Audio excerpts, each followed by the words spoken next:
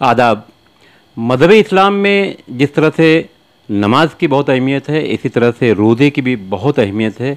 हम कभी कभी रमज़ान महीने में बच्चों के हौसला अफजाई के लिए जो बच्चे रोज़ा रखते हैं, उनके लिए वीडियो बनाते हैं। आज इस वक्त मैं दैतूनपुरा के पीछे तालाब का जो हिस्सा है, वहाँ पर मौजूद हूँ और मेरे साथ में दो बच्चियाँ मौजूद हैं और इन्होंने रोज़े रखे हैं। आज इन बच्चियों से। और बड़ी बात यह है कि रमज़ान का तीसरा अशरा है और आज जुमा का दिन है। अलविदाई जुमा आम तौर से हम कहते हैं। इसकी बड़ी अहमियत है। आज के दिन जो है, मुसलमान बड़ी तादाद में मस्जिदों में जाकर नमाज़ पढ़ते हैं अलविदाई जुमा के हिसाब से। और मैंने ये देखा देखा है कि कुछ लोग नए कपड़े भी पहन लेते हैं। अच्छी बात है। बहरहाल, रमज़ान की जो अहमियत है उस अहमियत पर आज इन बच्चों को हम और अहमियत देते हैं। बेटा आप अपना नाम बताइए। सना। थोड़ा तेज़ बताइए। सना। और आपके अब्बू का नाम बताइए। उस्मान। और आपकी अम्मी का। तराना। आपकी उम्र कितनी है? एट। और किस स्कूल में आप पढ़ती हैं? Huda English medium school. आपके जो क्लास टीचर है उनका क्या नाम है? ए, किसी भी टीचर का। रुमाना टीचर। तो ये छोटी बच्ची है और बड़ा मसला ये है कि गर्मी बहुत ज़्यादा है ऐसे में भी बच्चे हिम्मत करते हैं। तो इनकी हौसला अफजाई के लिए इस तरह के हम प्रोग्राम करते हैं।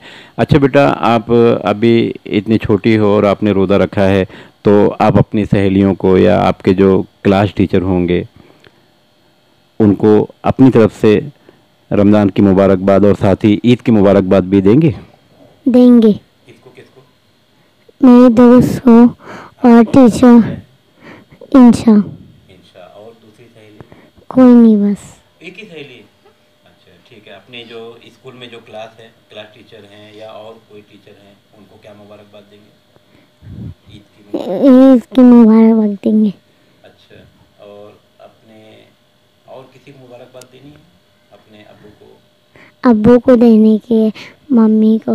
ईद मुबारक। और अब तो ये रमज़ान का महीना ख़त्म होने वाला है तो आने वाले दिनों में जब रमज़ान दोबारा आएगा तो पूरे रोज़े रखेंगे इंशाल्लाह?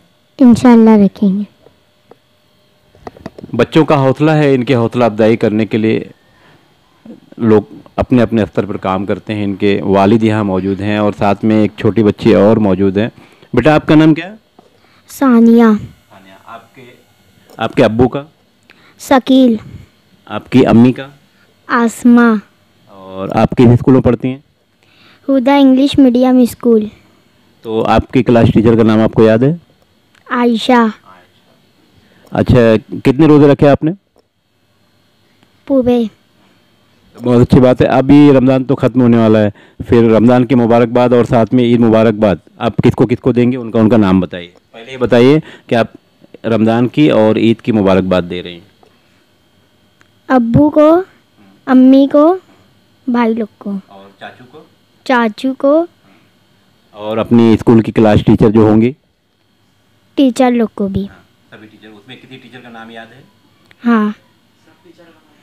सब टीचर जो टीचरों का नाम याद है वो बताइए और उनको मुबारकबाद दीजिए अपनी तरफ़ से ईद की। Rumana teacher Ayesha teacher Kausab teacher बस। बहुत बहुत शुक्रिया। इन बच्चों का एक मैसेज है रमज़ान के ताल्लुक़ से। इन्होंने जो रोज़े रखे हैं और ईद की मुबारकबाद के साथ ज़रूर कहीं ना कहीं इनके जो टीचर्स होंगे, वो ये वीडियो देखेंगे। मैं बीएसएस नेटवर्क के लिए खान फ़कर आलम। और इन दोनों बच्चियों के चाचा यहाँ मौजूद हैं, इमरान भाई। मैं उनसे गुजारिश करूँगा कि इन बच्चों के हौसला अफजाई के लिए अपने ताल्लुक़ से कुछ कहें। इमरान साहब, बच्चे हैं, इनकी हौसला अफजाई करना ज़रूरी होता है। बच्चे रोज़ा रख रहे हैं तो ऐसे में आप क्या कहेंगे? बहुत ज़रूरी है ये तो। हम लोग सुबह में शहरी में इनको उठाते तो ये बहुत मतलब नहीं यहाँ नहीं करने के लेकिन अल्हम्दुलिल्लाह इन लोग का हिम्मत अपन को कर ही लेते और इन लोग रोज़ा रख ही रहते। इंशाल्लाह ये बच्चे लोग का आप ये अभी चैनल है आप देख के इंशाल्लाह ये आप देख सकते हो। इन लोग भी बच्चे छोटे हैं और आप भी है। अभी आने वाले साल में रमज़ान महीना फिर आएगा और आप भी रोज़ा रहिए।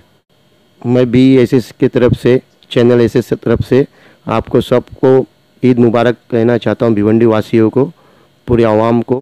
ईद करीब आ गई है, तीस रोज़े के फल मिलने वाले ही हैं। मैं अपने नेटवर्क की तरफ़ से BSS नेटवर्क की तरफ़ से, अपने तमाम सहयोगियों की तरफ़ से, भिवंडी शहर के सभी लोगों को ईद की मुबारकबाद देता हूँ।